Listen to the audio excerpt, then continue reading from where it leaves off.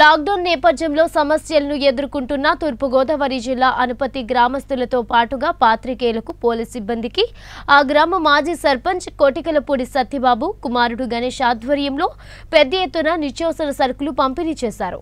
ఈ పంపిణీ కార్యక్రమానికి అనపతి శాసనసభ్యులు డాక్టర్ సత్య సూర్యనారాయణ రెడ్డి పాల్గొని ఇటువంటి క్లిష్ట సమయాల్లో కొటికలపూడి కుటుంబ సభ్యులు ముందుకు వచ్చి సహాయం చేయడం అభినందనీయమన్నారు.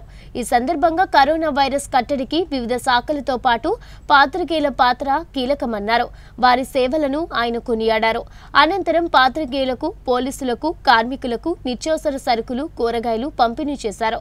అలాగే గ్రామాల్లోని సుమారు రెండు వేల మంది కుటుంబాలకు నిత్యావసర సరుకుల కిట్లను అందజేశారు. కార్యక్రమంలో Kakinada rural CI Akula Muralikrishna SA Lakshmikantham MPDO Vijayabhaskar Kakinada bar council అధ్యక్షుడు సత్య శ్రీనివాస్ పలువురు పాల్గొన్నారు. మరి లాక్డౌన్ విధించకపోతే ఈ వ్యాధి మరింత ఎక్కువ వ్యాప్తి చెందే అవకాశం ఉంది కాబట్టి ప్రభుత్వం లాక్డౌన్ పెట్టడం జరిగింది. ఈ లాక్డౌన్ కార్యక్రమం వల్ల మరి వ్యాధి కంట్రోల్లోకి వచ్చిన ఈ చాలా మందికి ఆర్థిక ఇబ్బందులు మాత్రం చాలా ఎక్కువగా ఉన్నాయి. అటువంటి టైంలో మరి గ్రామాల్లో ఉన్నటువంటి పెద్దలు అదేవిధంగా వివిధ స్వచ్ఛంద సంస్థలు కూడా ముందుకొచ్చి మరి పేదలను ఆదుకోవటానికి మరి తమ చేతనైత సహాయం మరి వారు చేస్తూ ఉన్నారు. ఈ రోజున మరి గ్రామ గ్రామంలో ఉన్న ప్రతి ఇంటికి కూడా మరి బియ్యంతో పాటు ఈ కాయగూరలు అదేవిధంగా గుడ్లు కూడా మరి ఇవ్వడానికి ముందుకొచ్చిన కొట్టుకలపూడి చంద్రబాబు గారిని ప్రత్యేకంగా అభినందిస్తున్నాను. అంతేకాకుండా మీ ఊరికి కోట్లాది రూపాయలు గ్రాంట్ వచ్చిందంటే కారణం? గ్రాంట్ రప్పించడమే కాదు అది గ్రాంట్ వచ్చే వరకు కూడా పట్టువదలు విక్రమార్కుల్లాగా రోజుకు ఒక్కొక్క విషయం గురించి ఆయన గ్రాంట్లు అయిన అడగడం చేయడం.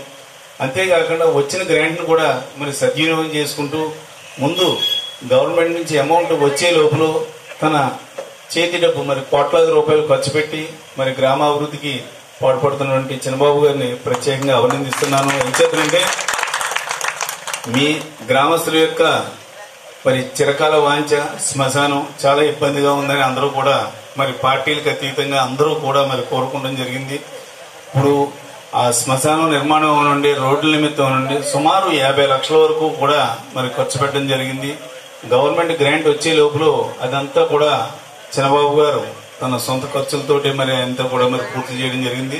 అదేవిధంగా గ్రామంలోని వివిధ రోడ్లకు కూడా మరి ఆయన ప్రారంభించడం జరిగింది.